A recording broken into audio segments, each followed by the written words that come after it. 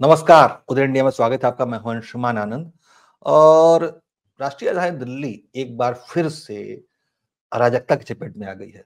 तथा कथित किसान आंदोलन उतर हैं और उन्होंने कई सारी मांगों की लंबी फहरिस्त रखी है।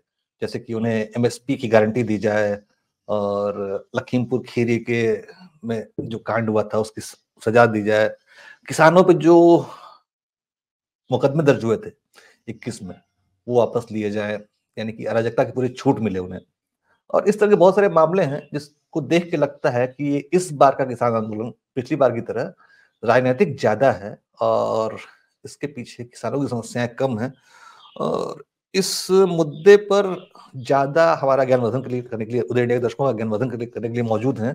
राकेश शुक्ला जी वरिष्ठ पत्रकार हैं और संपादक भी हैं। तो हम आपका बहुत स्वागत करते हैं, सर।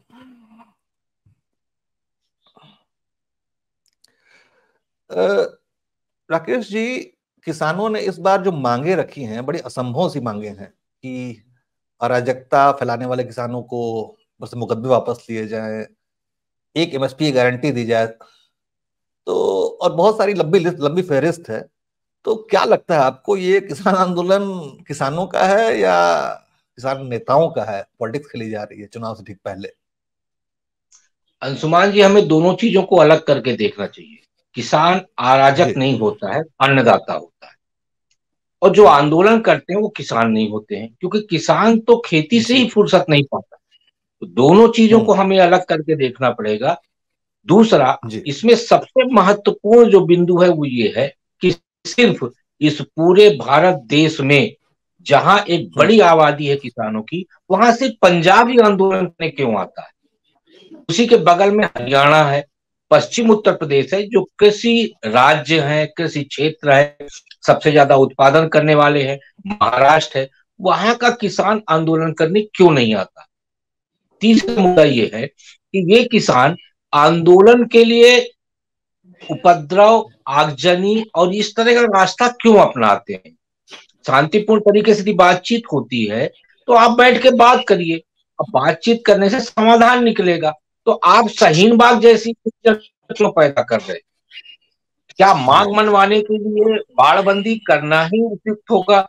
ये तमाम ऐसे विषय हैं जो ये इंगित करते हैं कि किसान की जगह पे आंदोलन करने वाला जो वर्ग है वो विशुद्ध तौर पे राजनीतिक वर्ग है।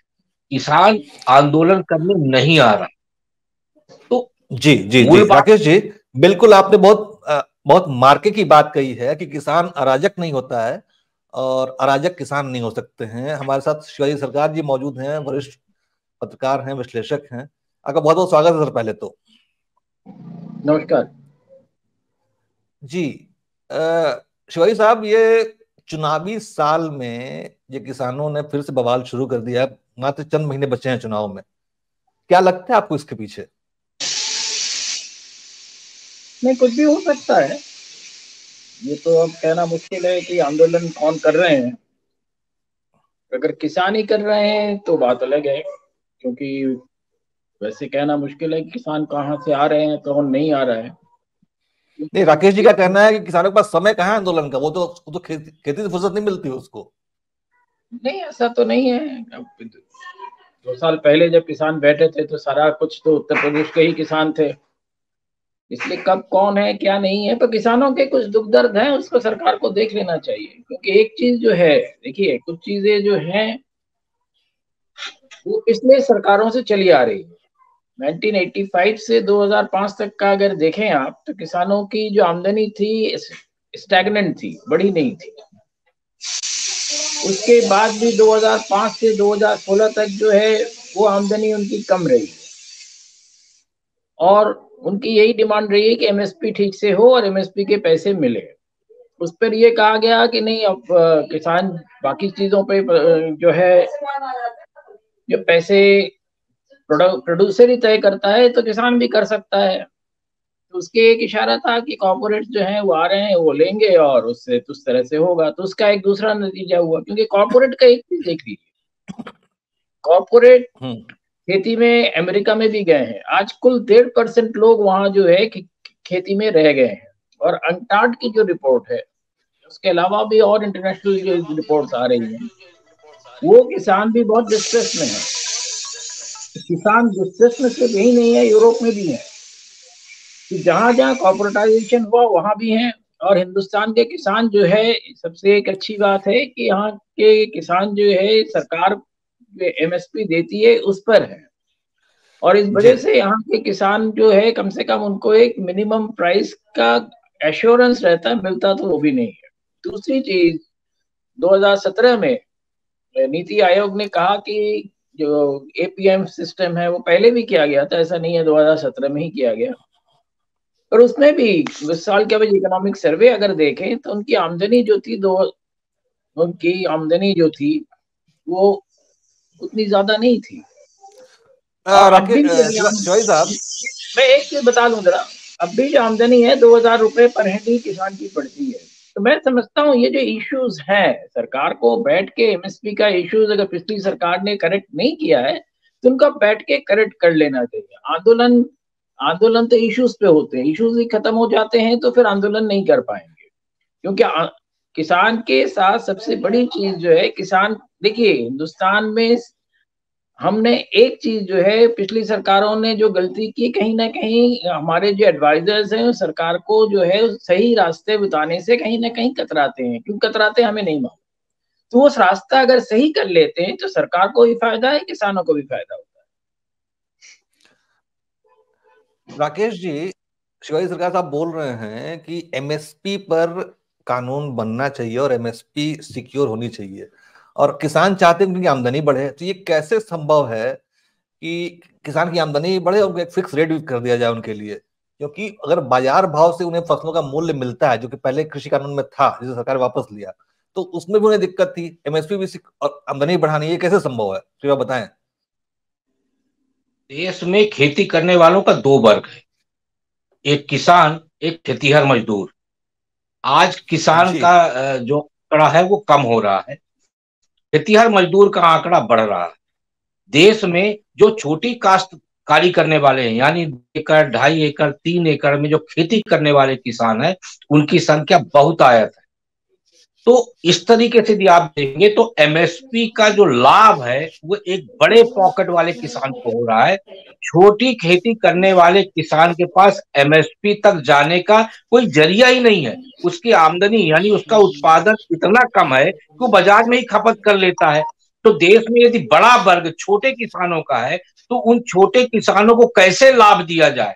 ये मूल मुद्दा आता है। उस मूल मुद्दे की तरफ़ ध्यान देने की बजाय इस मुद्दे पे ज़्यादा फोकस किया जा रहा है कि एमएसपी दिया जाए पहली बात। दूसरा जितना मैं समझता हूँ एमएसपी अभी जो सरकार की तरफ़ से तय किया जाता है समर्थन मूल्य यदि आप उसको कानून में बना देंगे तो शिवाजी सरकार साहब मेरे से ज़्यादा जानकार है। यदि कानून बन जाएगा तो यदि उस कानून यदि उस रेट को परिवर्तित करना है तो बार बार आपको कैबिनेट और पार्लियामेंट में जाना पड़ेगा।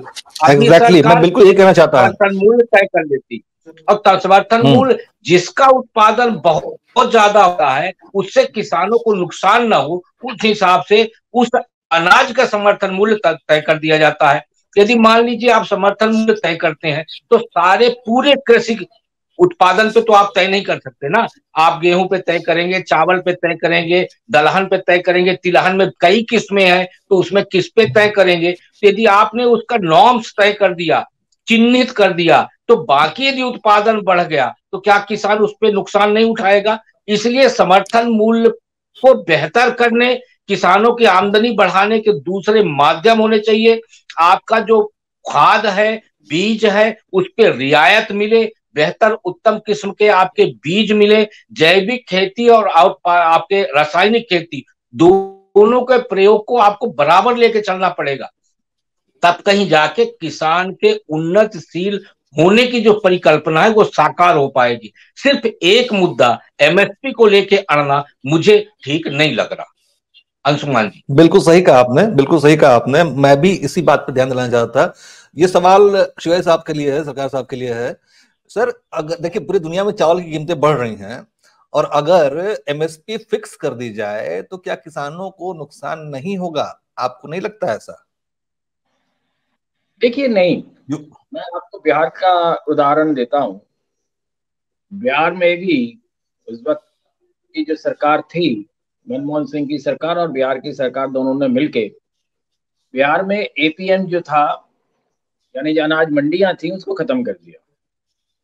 और उसका नतीजा ये हुआ है कि आज भी बिहार के किसानों को सही दाम नहीं मिलते। होता क्या है? पंजाब के किसान जाते हैं बिहार से गेहूँ और अनाज खरीदते हैं और पंजाब में ले जाकर उसको बेचते हैं और फिर भी वो मुनाफे में रहते हैं। यानी कि नुकसान जो है बिहार के किसान का हुआ। फ़ायदा पंजाब के जो भी किसान हो, ट्रेडर हो, जो भी है, उसको हुआ। तो हमें ये चीज़ सोचना पड़ता है कि हमने जो है एक्चुअली हमने क्या किया, हमने पूरे एज ए नेशन जो है, हमने इस चीज़ की ठीक से स्टडी नहीं की। हम हर चीज़ जो है हड़बड़ी में करते जा रहे हैं। पिछली सरकार जो थी, ये कहा जाता था कि कॉरपोरेट सरकार थी और उन्होंने बहुत सारी गलतियाँ की। हम उस गलतियों को दोहराते जाते हैं और हम समझ रहे हैं कि हम सही पे रहे नहीं, हम सही पे नहीं है। किसानों को अगर आपको मदद करनी है तो आप एपीएम्स को स्ट्रॉन्ग कीजिए। और किसान जो है जो भी वहाँ पहुँचता है उसको देखिए एमएसपी में क्या होता है? एमएसपी का मतलब होता है कि फ्लोर प्राइस और वो मिनिमम प्राइस होता है मैक्सिमम नहीं होता है। मिनिमम सपोर्ट प्राइस जी। है ना? तो वो तो कम से कम और वो उतना ही होता है जितना किसान की लागत होती है। अभी जो अभी जो मोदी सरकार ने किया है लेकिन आपको ऐसा नहीं लगता है कि आपने पचास परसेंट किया है। आपने पहली बार जो बात की उसमें कहा कि किसानों की आमदनी बढ़ी नहीं है। तो किसानों की आमदनी न बढ़ने में रोल एमएसपी का नहीं है क्या? क्योंकि अगर आप रेट फिक्स कर देते हैं तो फिर उसी रेट पे हर बार खरीदारी होगी। तो फिर एमएसपी का रोल नहीं है किसान आमदनी कैसे बढ़ेगी फिर? देखिए आपने खुद ही कहा कि एमएसपी भी उसको मुश्किल से मिल पाती है। जो खरीदार हैं और हर तरह के हम्म। खरीदार हैं किसान को सही मूल्य नहीं मिलता है। और इसको हमने इंश्योर करने के लिए पूरे सिस्टम में मैंने 85 से 2005 तक का ही बताया और 2005 से 2016 तक का ही बताया। और 2016 के बाद तो हमारे पास तमाम ऐसी अपॉर्चुनिटीज़ थी जिसमें कि इसकी थोड़ी सी स्टडी करके उनके जो किसानों को जो आमदनी दुगनी करने की बात है। दुगनी करने से सरकार पे भी बोझ कम पड़ता है। सरकार को भी जो हर साल जो भी किसान निधि देना पड़ रहा, वो नहीं देना पड़ेगा। तो वो भी तो एक तरह की सब्सिडी हुई ना। उसको भी आप जोड़ सकते हैं। पर उसके बावजूद किसानों के जो एवरेज किसान है, कुछ आप जो शुक्ला जी कह रहे थे वो कुछ एक परसेंटेज है जो एक परसेंट से ज़्यादा नहीं होंगे। जिनकी आमदनी बहुत ज़्यादा है बड़े किसान बहुत है वो बहुत कम लोग हैं। एवरेज किसान की बात जहाँ हो रही है तो उसमें हमें स्टडी करके इसको स्टेब्लिश करना चाहिए कि एमएसपी जो है एक्चुअल हो और उसको मिले। एमएस एमएसपी अभी भी वो नहीं है जब स्वामीनाथन कमेटी की रिपोर्ट ने दी थी आज भी नहीं है। तो हमें इन चीज़ों को स्टडी करके कर लेना चाहिए। और उसके वजह से क्या होगा? तो बेसिक मुद्दा ही नहीं होगा तो आंदोलन कौन करेगा? जी। अंशुमान जी। एक विषय एक विषय मैं रखना चाहूँगा कि आज सबसे बड़ा जाँच का विषय ये है सबसे बड़ा जाँच का विषय ये है कि एफसीआई सबसे ज़्यादा खरीदारी पंजाब से ही क्यों करती है? क्या दूसरे राज्यों में उत्पादन नहीं होता? वो उत्तर प्रदेश बिहार मध्य प्रदेश से गेहूँ और चावल छत्तीस छत्तीसगढ़ से गेहूँ और चावल की सर्वाधिक खरीदी क्यों नहीं करती? आंध्र प्रदेश से क्यों करती? सारा का सारा फोकस एफसीआई का पंजाब पे ही क्यों है? उसका कारण है, ये पूरा चेन है, पूरा नेटवर्क है। और उसी नेटवर्क के चलते एफसीआई भी उस नेटवर्क में है, इसलिए सारी खरीदारी पंजाब से करती है। जो अभी शिवाजी सरकार जी बोल रहे थे कि बिहार का खरीदा हुआ अनाज पंजाब में पहुँचता है और उनको अच्छा दाम मिलता है। कारण ये है, उनके पास एफसीआई का एक बहुत बड़ा चंक है। उनके पास एक बड़ा मार्केट है। बिहार उत्तर प्रदेश मध्य प्रदेश छत्तीसगढ़ के पास एक मार्केट नहीं है। तो मार्केट तैयार करने की आवश्यकता है। बड़ा मार्केट। और बड़ा मार्केट के साथ साथ एफसीआई के लिए कोटा तय करने की ज़रूरत है और उस पर निगरानी करने की ज़रूरत है कि आप राज्यों से जो खरीदारी कर रहे हैं तो, तो आप अपनी रिपोर्ट में ये नहीं लिखेंगे कि इस राज्य में उत्पादन कम है इस राज्य में ज़्यादा है। सरकार को एक कमेटी बनानी चाहिए जो इस बात को देखे कि किस राज्य में उत्पादन कितना है। कृषि विभाग के पास ये आंकड़े होते हैं कृषि मंत्रालय के पास आंकड़ा जाता है स्टेट गवर्नमेंट से आंकड़ा लेना चाहिए उसके यहाँ क्या उत्पादन हुआ एफसीआई खरीद रही कि नहीं खरीद रही? फिर दूसरा अनाज राज्यों में क्यों सड़ रहा है? बिल्कुल। और सारा अनाज आज तक आपने सुना क्या कि पंजाब में कोई अनाज सड़ा है? बाकी राज्यों में क्यों सड़ जाता है? एफसीआई खरीद के उसको क्यों बाहर फेंक देती है? क्यों उसका उपयोग नहीं होता है? बाद में वो शराब कंपनियों के पास क्यों चला जाता है? ये ऐसे मुद्दे हैं। जिन मुद्दों पे बहुत गहराई से जाँच करने की ज़रूरत है। ये चिंतन करने का मुद्दा नहीं है ये जाँच का विषय है। और उस जाँच की तह तक जब आप जाएँगे तो जिस किसान की इशू पे आज हम चर्चा कर रहे हैं वो किसान पहले भी खुशहाल था आगे भी खुशहाल हो पाएगा। अंशुमान जी। जी आपने बहुत अहम बात कही कि एफसीआई सारी खरीदारी पंजाब से क्यों करता है? जबकि बड़े बड़े राज्य उत्तर प्रदेश मध्य प्रदेश जो कि एमपी खेत गेहूँ के लिए कितना प्रसिद्ध है एमपी का गेहूँ। छत्तीसगढ़ को धान कटोरा कहते हैं लेकिन वहाँ से एफसीआई खरीदारी नहीं करती पंजाब से करती है। शिवाई सरकार साहब इसका जवाब आप देना चाहेंगे क्या? एफसीआई का में कोई कॉकस बना हुआ है जो कि पंजाब को प्रायोरिटी देता है? ये तो साफ़ यही लगता है। पहले, मैंने पहले ही कहा आपसे हमने सिस्टम्स को ठीक से नहीं बनाए। और हमारे पास बहुत जो है इस वक्त जो है मोदी सरकार जिस तरह से काम कर रही है उनके पास बहुत अपॉर्चुनिटीज़ है। पर मैं समझता हूँ, एक चीज़ शायद वहाँ भी हो जाता है कि जो लोग वेस्टेड इंटरेस्ट के हैं, वो भी सरकार तक सही जो सलाह है, वो नहीं पहुंचाते हैं। जैसे अभी शुक्ला जी ने कहा, इस तरह की सलाह जो है, वहाँ तक नहीं पहुँच पाती। वो सलाह अगर ठीक से पहुँच जाए, मेरे ख्याल में कहीं ना कहीं एक कम्युनिकेशन गैप जो है, वो खत्म हो जाता है। और दूसरी चीज़ मैं समझता हूँ कि सरकार में नहीं ब्यूरोक्रेसी में कुछ लोग ऐसे हैं जो ये जो सरकार के साथ जब सीधी वार्ता होती है वो नहीं करने देते। तो सरकार अगर सीधी वार्ता उनसे करे तो मैं समझता हूँ बहुत से जो समाधान है वो आसानी से हो सकते हैं। तो और तीसरी चीज़ किसान किस प्रकार के किसान है नहीं मालूम। अगर अगर सही किसान नहीं है तो सरकार वो आने ही क्यों देती है? हर स्टेट के लोग जानते हैं कहाँ कहाँ से लोग आ रहे हैं। तो इन चीज़ों का भी हमें ध्यान रखना चाहिए कि क्या वो रिप्रेजेंटेटिव फार्मर्स हैं या नहीं है। अगर रिप्रेजेंटेटिव फार्मर्स हैं तो आने दीजिए, बात करने दीजिए। ठीक है बॉर्डर पे आप नहीं आने दे रहे हैं, कोई बात नहीं। आने दीजिए, उनसे बात करने दीजिए और बात करके इशू को सॉल्व कीजिए। पर बात नहीं करने से, देखिए, बात नहीं करने से क्या होता है? एक जनमानस में यह जाता है कि सरकार बात नहीं कर रही ये नहीं कोई सोचता है कि किसान ही कर रहे हैं। तो जनता की जो एक सेंटिमेंट्स है, उसको कैटर करने की ज़रूरत होती है। और खास करके ऐसे खास मौकों पर जबकि चुनाव सामने है।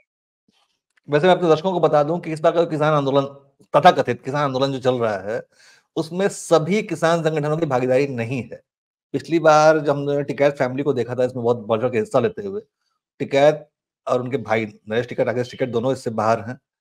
पश्चिमी उत्तर प्रदेश के कई संगठन इससे बाहर हैं और इस बार अलग संगठनों ने लीड ले रखी है। वैसे राकेश जी, एक समय हो चला है। राकेश जी से संपर्क टूट गया था, दोबारा जुड़ा है।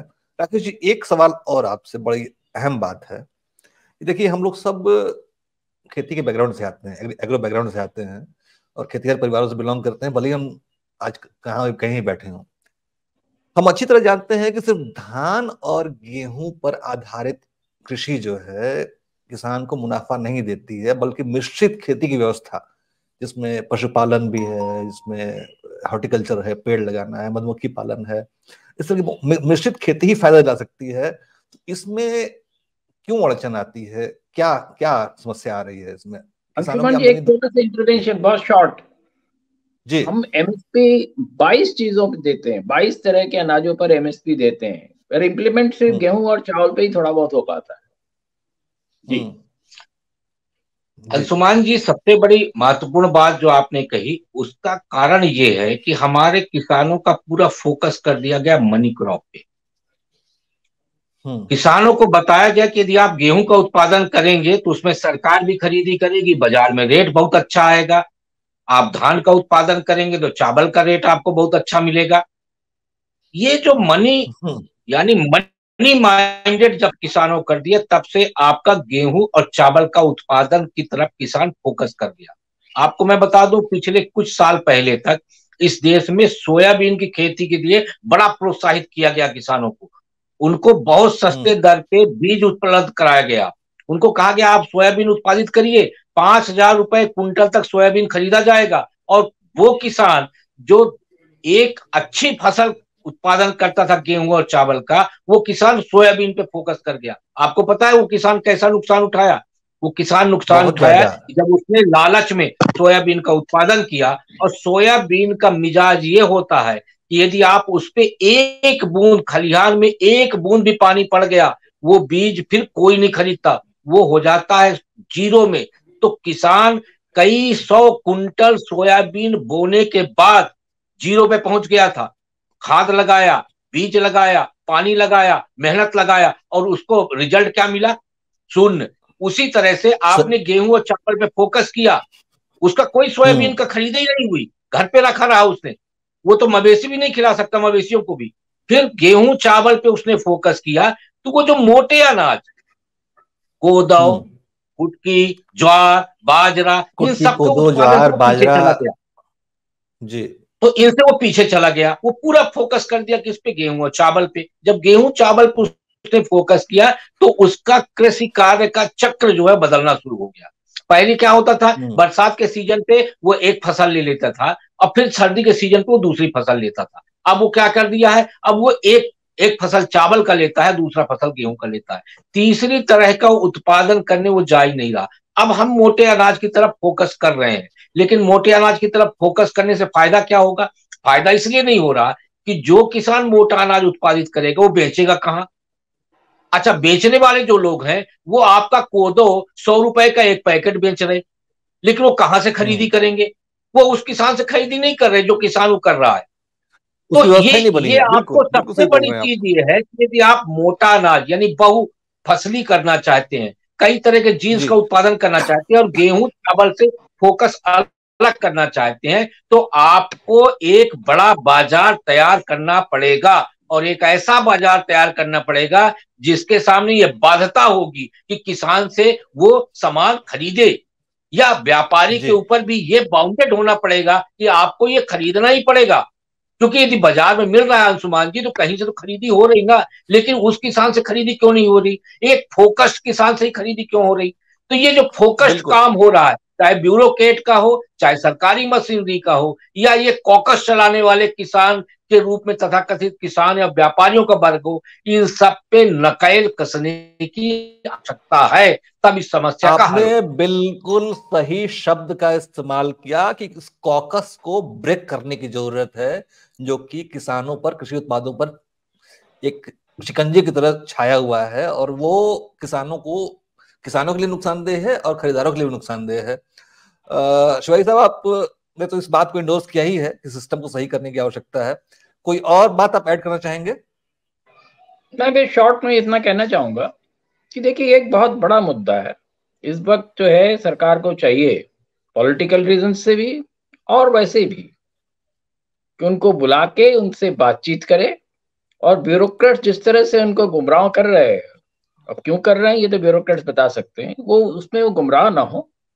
और दूसरी चीज़, ये जो बहुत सारे इश्यूज़ हैं क्रॉप पैटर्न का इश्यूज़ है मार्केटिंग का इश्यूज़ है ये इन सारी चीज़ों को जो है, एक अच्छी तरह से बैठकर इस पर जो है सारे लोगों को लेके ऑल पार्टीज़ को ले लिया। सवाल ये है कि बाद में कोई क्यों कहे कि हमसे बात नहीं की है? हम ये बता सकते थे। अब सबको लेकर बात कीजिए, एक इंटर पार्टी कमेटी बनाइए एक्सपर्ट्स रखिए उसमें, और उस, इन इश्यूज़ को, उसमें डिस्कस करके उसको एजेंडा बना के उनको दीजिए। आगे का रास्ता जो है, हमें सही करना है। नहीं तो ये चीज़ें चलती रहेंगी। आज वर्ल्ड ओवर किसान परेशान है, सिर्फ़ हिंदुस्तान में नहीं है। और ये जो यूक्रेन और रशिया की लड़ाई चल रही है, इसराइल और गाजा गाजा पट्टी में जो पैलेस्टाइन के साथ चल रही है इन सारी वजहों से जो है वर्ल्ड का मार्केट जो है वो गड़बड़ा रहा है। इसमें हमारे लिए अपॉर्चुनिटीज़ भी है पर हमारे लिए प्रॉब्लम्स भी है। तो हम किसानों को अपने साथ रखेंगे सही ढंग से समझाएँगे और सही ढंग से सही उनको प्राइस का एश्योरेंस देंगे रास्ता बनाएँगे तो सारे मुल्क के लिए अच्छा है। पार्टी के लिए भी अच्छा है सरकार के लिए भी अच्छा है और किसान के लिए भी अच्छा रहेगा। बिल्कुल सही कहा आपने। रशिया और यूक्रेन वॉर की वजह से गेहूँ की कीमतों में बहुत ज़्यादा इजाफा हुआ था इंटरनेशनल मार्केट में। और फ़िलहाल चावल की कीमतों में बढ़ोतरी चल रही है और इसराइल की वजह से जो कि रूट डिस्टर्ब हुए हैं, इस वजह से भी कई सारे उत्पाद पहुँच नहीं पा रहे इंटरनेशनल मार्केट में। लेकिन अभी, हालाँकि आप दोनों विद्वानों से बात करके बहुत मेरा ज्ञानवर्धन हुआ। हालाँकि बातें बहुत सी हैं, लेकिन समय की कमी है। तो मैं उम्मीद करता हूँ, जितनी बातें आपने बताई हैं, वो हमारे दर्शकों को बिल्कुल उनका ज्ञान बढ़ा होगा। और वो किसान आंदोलन की वास्तविकता समझ गए होंगे और इसके हल पे भी वो विचार करेंगे। आप दोनों विद्वंजनों का बहुत बहुत धन्यवाद।